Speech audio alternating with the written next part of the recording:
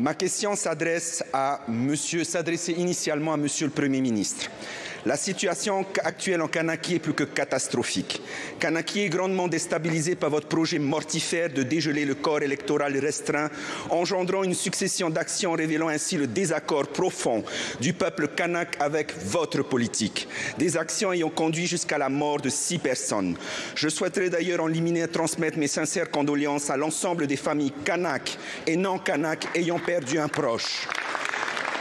Et je tiens à vous rappeler, Monsieur le Premier ministre, que votre gouvernement est entièrement responsable des tragédies qui ont actuellement lieu sur ce territoire.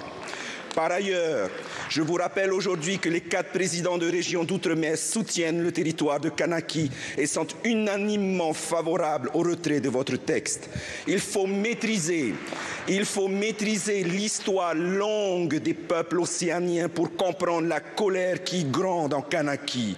C'est ce que j'ai tenté de vous expliquer lors de la réunion de crise à Matignon le vendredi 17 mai, où j'ai particulièrement insisté sur le fait que le peuple océanien attachait beaucoup d'importance importance à la confiance et à l'authenticité des relations humaines. Or, la posture qu'adopte le gouvernement actuel rompt tout dialogue avec le peuple.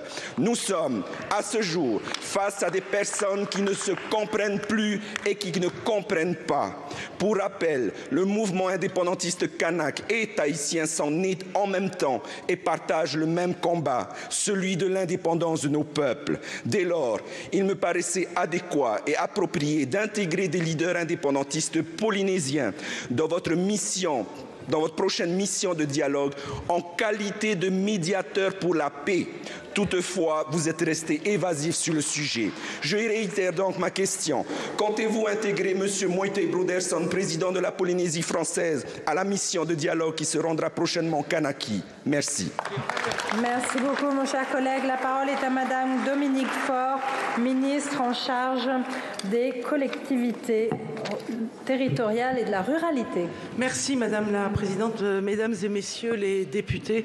Monsieur le député Chaillot, donc, je voudrais évidemment, au nom du ministre de l'Intérieur, au nom de tout le gouvernement, vous dire à quel point nous ressentons une envie de communiquer toutes ces pensées chaleureuses qui nous animent face aux sept victimes, dont deux gendarmes, que ces émeutes ont, auxquelles elles ont donné lieu. Vous dire que nous adressons aussi notre soutien aux 86 policiers gendarmes qui ont été blessés et dont nous tenons à souligner le courage, ainsi que le courage de toutes leurs familles. Ensuite, vous dire qu'en réaction à cette crise que subit le territoire calédonien, le président de la République a pris la décision la semaine dernière de décréter l'état d'urgence, vous le savez, afin que l'ordre revienne dans les plus brefs délais. Oui, vous avez raison, la situation est grave.